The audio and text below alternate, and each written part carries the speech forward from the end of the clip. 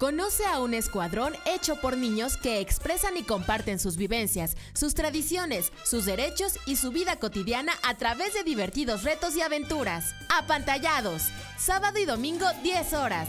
Retransmisión martes y jueves 17 horas. Canal 49, el canal de Morelos.